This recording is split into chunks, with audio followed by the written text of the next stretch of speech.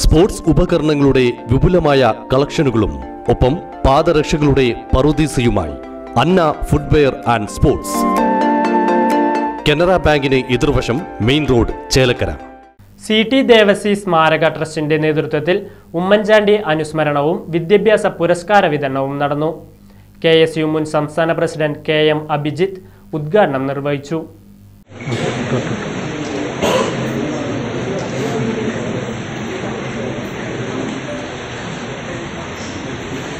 ജനങ്ങളിൽ നിന്ന് അകന്നു പോകുന്ന അധികാരവർഗത്തെ കാണുമ്പോൾ ഓരോ ഘട്ടങ്ങളിലും നമ്മൾ ഓർത്തു പോകാറുള്ള നാമധേയമാണ് ഉമ്മൻചാണ്ടി എന്ന് പറയുന്ന മനുഷ്യന്റെത്.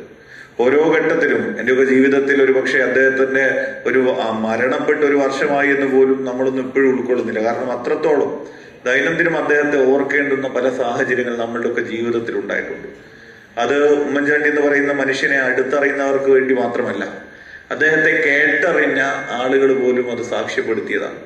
ഞാൻ വരുന്ന കോഴിക്കോട് ശ്രീ ഉമ്മൻചാണ്ടി കേരളത്തിന്റെ മുഖ്യമന്ത്രിയായപ്പോ അന്ന് അദ്ദേഹം കോഴിക്കോട് ഒരു സ്കൂളിലേക്ക് കടന്നു വരുമ്പോ അവിടെയുള്ള ശിവാനി എന്ന പെൺകുട്ടി ഉമ്മൻചാണ്ടി എന്ന് നീട്ടി വിളിപ്പിക്കുമ്പോൾ ആ ശിവാനിയുടെ വാക്കുകൾക്ക് കാതോർത്ത് ശിവാനിയുടെ അടുത്തേക്ക് കടന്നു പോകുമ്പോൾ ശിവാനി പറഞ്ഞത് എന്റെ കൂട്ടുകാരൻ അമലിന് വീടില്ല എന്ന്.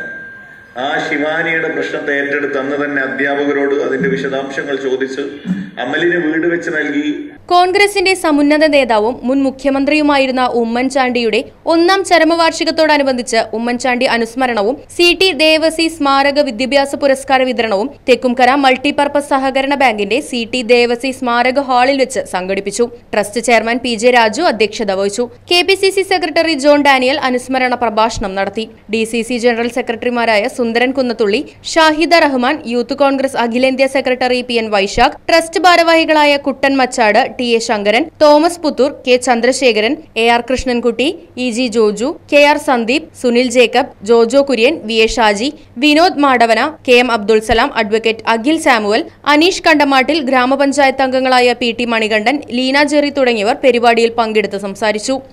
Right vision news Vadakkanchery. പത്താം ക്ലാസ് കഴിഞ്ഞില്ലേ? ഇനി പ്ലസ് വൺ പ്ലസ് ടു എവിടെ പഠിക്കും?